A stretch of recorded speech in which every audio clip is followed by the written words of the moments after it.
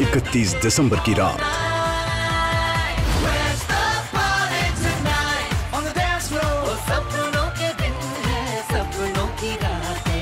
उडारिया माह एपिसोड 31 दिसंबर शाम 6 बजे से।